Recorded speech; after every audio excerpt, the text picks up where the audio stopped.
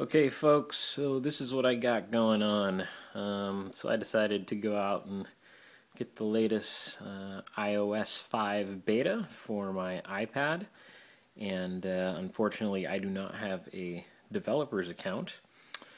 But I did find a way to kind of uh, get the iPad 2 to activate.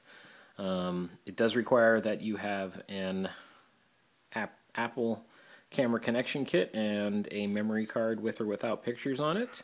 But uh, basically, you just take that little device there, and once you get to this screen where it will will not activate, you go ahead and plug your camera connection kit in here. So make sure that guy is nice and secure. Um, I'm going to go up here and I'm going to turn off. Actually, I don't even need to turn it off. Just uh, goes right there. And as soon as you get that, go ahead and uh, hit the home button and it'll take you right into the home screen.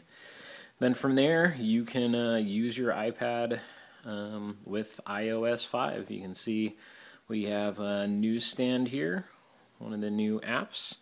Um, we have uh, Safari with the tabbed browsing. Um, and we also have the new split keyboard.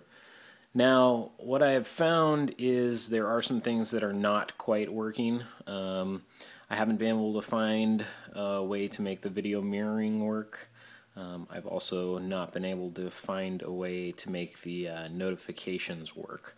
So it is a little bit crippled at this point, but uh, hopefully getting this information out there will help uh, some other people find a good way to um, get it fully up and running. I uh, hope that helps everyone out, and I will talk to you later.